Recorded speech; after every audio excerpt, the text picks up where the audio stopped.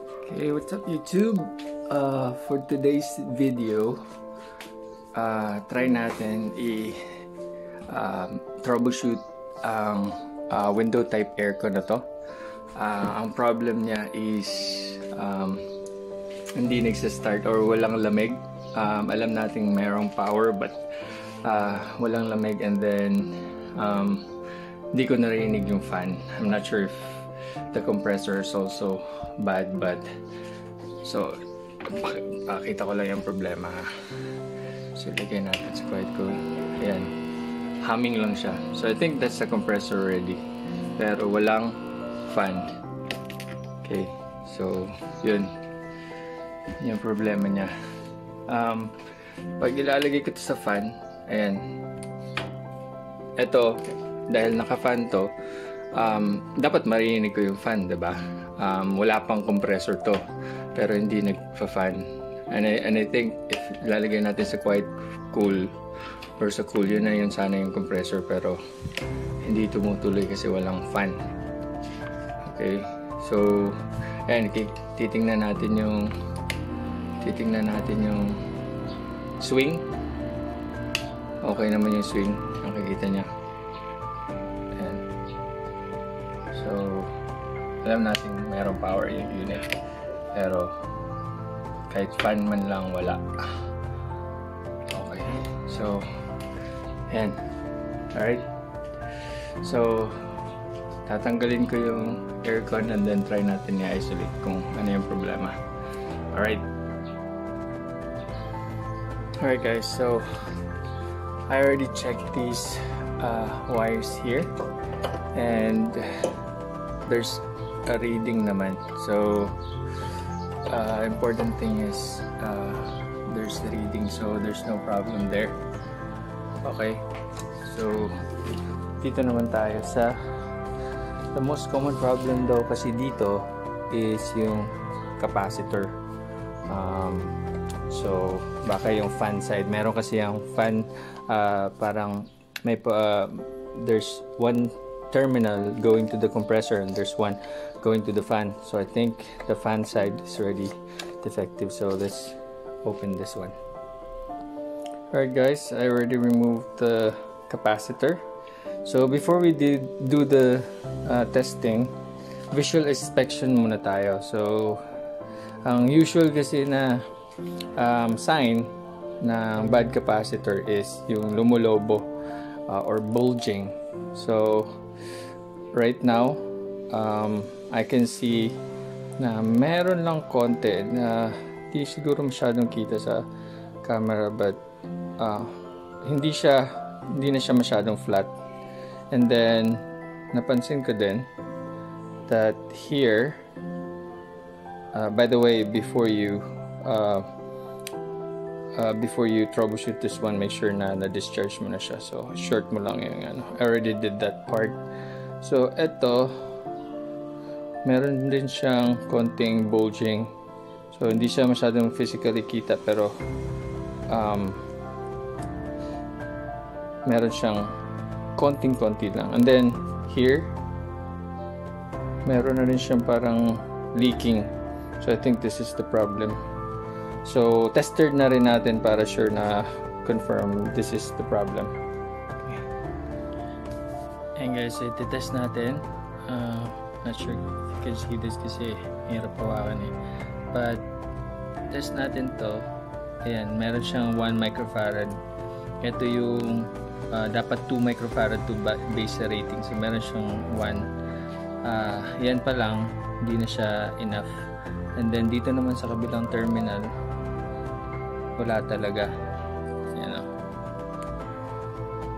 Yan, wala talaga.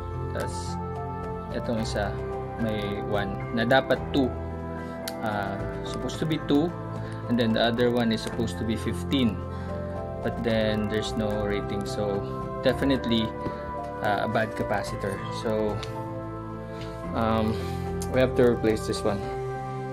Um, have to buy one sa local electronic electronics uh, store.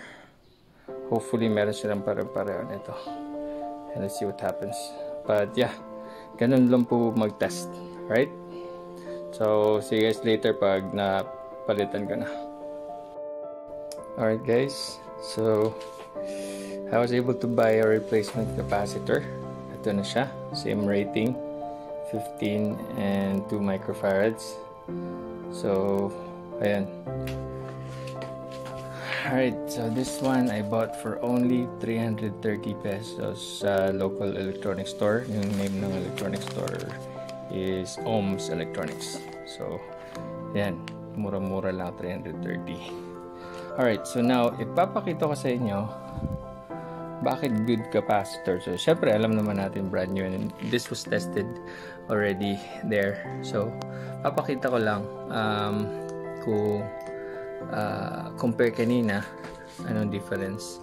Alright, so, kung makita nyo to, let's see, ayan. So, ito yung 2 microfarad. So, right now is 2.14 which is okay at least. Ano, compare kanina, um, 1 lang siya. Uh, 1 microfarad. Tapos pag ililipat ko sa dun sa isang terminal, ayan, 14.9. So, okay lang yan kasi 15 dapat yan eh. Pero, okay lang 14.9. But, compared dun sa kanina, 0 talaga.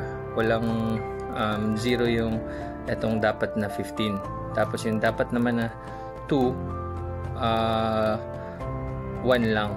So, kaya alam alam na talaga na sira yung kanina. So, Ayan.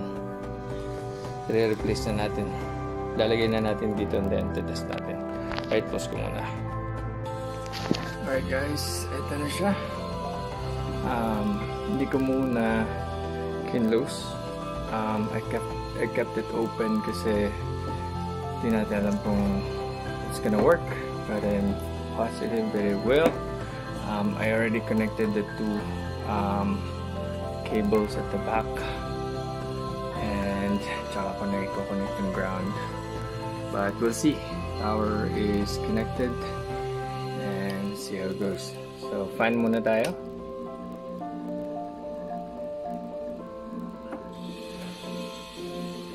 oh.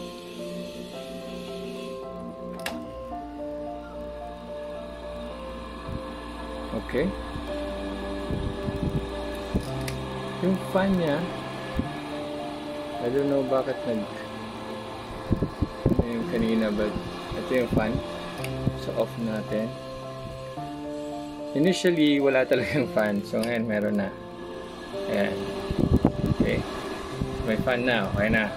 And then so quite cool. Ayan. Narinig ko na yung ano compressor. So malamig na rin. Ayan. So okay na siya. Uh, close ko na lang to and then ayusin ko yung cable. Okay. Alright so let's just recap this air conditioning uh, unit is already 13 years old. And it failed last night. And we thought na talagang deads na talaga. Kasi you know that old 13 years um, siguro naman nasulit na namin yung gamit sa kanya. And we thought we will be shedding 10,000 pesos for a new air conditioning unit. So uh, buti na lang. Buti na lang uh, okay na ulit. So nakasave kami ng 10,000 alright so ang problema niya uh, nung nag-fail siya is um, it's not starting. The fan is not turning on. Uh, humming lang pag pag uh, pag fan.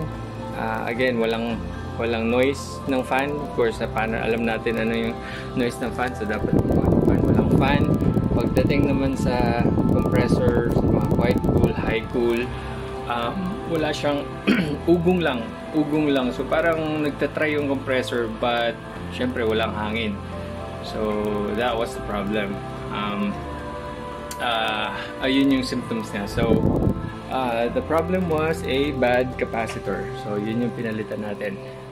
Uh, bad capacitor lang pala which is worth 300 plus pesos uh, instead of buying a new air conditioning na 10,000. So, pwede pa siya. I know uh, one of these days siguro, maybe next year, two years from now, since 13 years old na to, mag-fail na rin naman siya eventually maybe compressor or something But kung capacitor lang naman ulit, walang problema, right? Kasi alam natin paano palitan, madali lang naman palitan and hindi na kailangan mag welding or something. So, yun guys. Um, ayos. Successful yung um, repair natin. Uh, DIY repair lang to.